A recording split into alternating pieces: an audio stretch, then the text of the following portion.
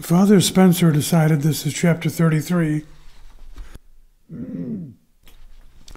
Father Spencer decided a phone call was improper to the Lollars and decided to take a plane into Hartford and rent a car and drive the 20 miles or so. The death of someone like Bob Lollar deserved, no, demanded more than just a phone call. He took a morning flight from Midway and arrived at Hartford at a little past noon. He hopped in his rented Mercury Sable and followed the easy directions to get on I 91 south. He passed through the skylight of Hartford and could see the gold dome of the state capitol off to the right. He traveled past Wethersfield, Rocky Hill, Cromwell, and Middletown until he got to exit 17 East Main Street. Got off the interstate.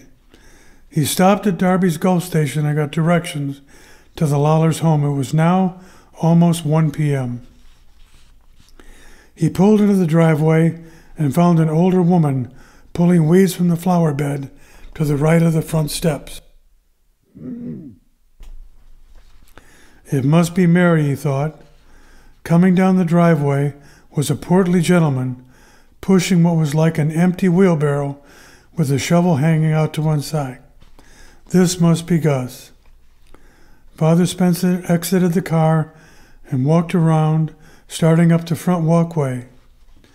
Mr. and Mrs. Lollar? inquired Father. I'm Father Spencer from Moody Bible Institute. Gus made his way over to where Mary had been working. She was now standing, brushing the dirt from her hands and then wiping them on her garden apron. Hello, Father, said Mary with a loving smile on her face. This is my husband Gus, Bob's father. Father, the men shook hands. Could we go inside? asked Father Spencer. I need to talk to you. Sure, come on in, replied Gus. Let's go inside. Gus placed his hand warmly on Father's shoulder as he ushered him up the few steps leading into the house. Mary followed. Would you like some lemonade or something else to drink? asked Mary. No, replied, replied Father Spencer. This is not a social call, I'm afraid. Bob not doing well in school? Gus asked. You know, Mary, I thought might, Bob might have a little trouble at first getting back into studying after almost four years in the military. Father looked into his hands. He was wringing in his lap. Mary sensed immediately that it was more than that. Father, what is it? asked Mary. Is Bob all right? I'm afraid not, responded Father Spencer, stumbling for the words. Your son Bob was murdered last night at a basketball game. It appeared to be a drug related commando style attack. Bob was just one of over 25 innocent bystanders who were killed. I cannot even begin to tell you how sorry I am. There is no way I could just call and tell you such terrible news over the phone.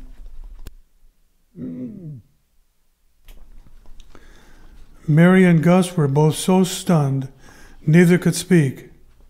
Gus put his arm around Mary as she pulled a small hanky from her dress and began to wipe away the tears as she began sobbing uncontrollably. Mary tried to regain her composure. Gus, do you know where Becky went off with Dave? Mary asked. We have to tell her right away. We also have to call the pastor and get him started making funeral arrangements. Mary, Mary just rambled on and on, so nervous. Gus, you'll have to go to Chicago and pick up the body, I suppose. Right, Father? asked Mary, allowing all these peripheral issues to overtake her immediate release of grief. Mary, I can take care of all of that for you, if it was like, offered Father Spencer. You will have enough to deal with back here. If you let me know what funeral home you'll be using, I will promise you to take care of it all. Well, that's very nice of you, Father, said Mary. If you will excuse me, I think I would like to go lay down for a while, said Mary as she rose. She kissed Gus on the cheek, extended her hand to Father, and clasped it warmly. Thank you for coming all this way. It means so much to me and Gus. Mary walked slowly down the hall to her room. You could hear the door close behind her. Father turned to Gus. Gus, I am so terribly sorry to have you bring you this news. He made his way toward the front door.